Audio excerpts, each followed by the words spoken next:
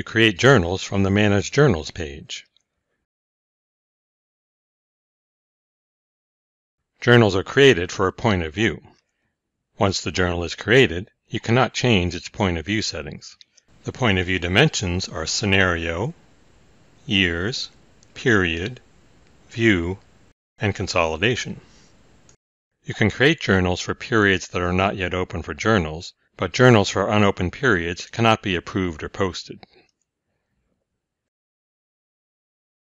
Select Periodic in the View dimension to enter current period movement in journal line items, or select YTD Input in the View dimension to enter year-to-date values for journal line items, and have the system calculate the current period movement when the journal is posted.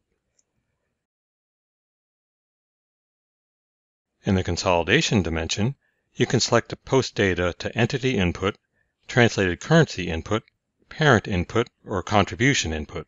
The consolidation member you select determines the currency options available when you select a data source member for the journal. I'll change the period from May to June and leave the other dimensions at their current settings.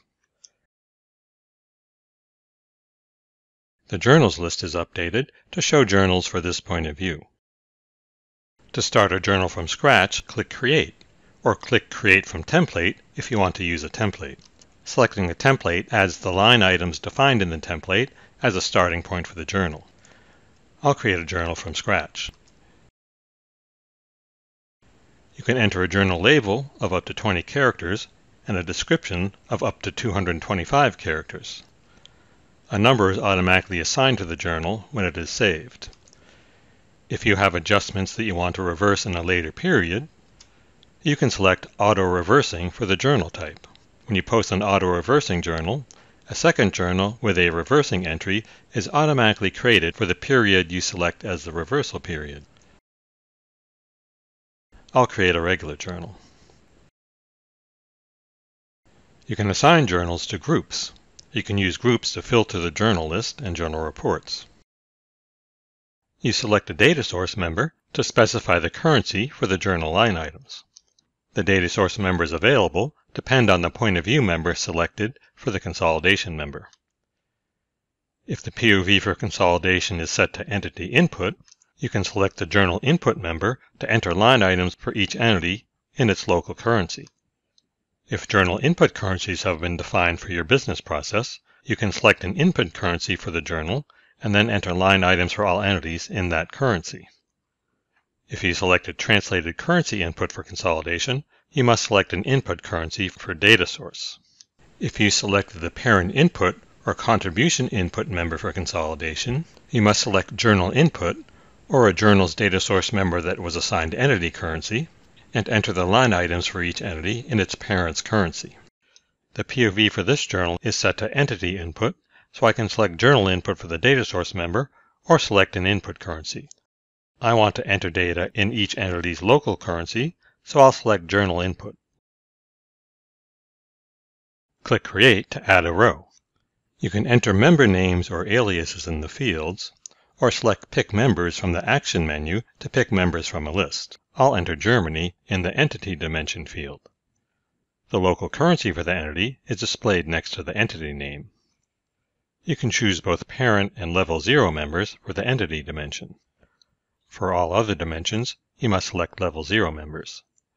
In the Account field, I'll use the Member selector to select Depreciation for Buildings. I'll search for members with depreciation in the name or alias.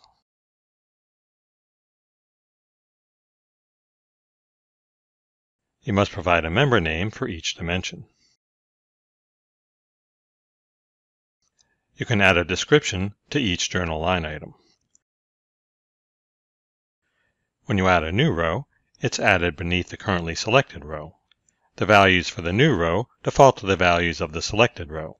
You can edit the values as needed. I'll change the account member to Accumulated Depreciation Buildings. You enter the data for each row as a debit or a credit. The total debits and total credits are displayed, along with a variance. You can copy and paste rows. I'll copy the rows for Germany to create an adjustment for the United Kingdom's entity. I'll edit the entity name and the debit and credit amounts for the rows.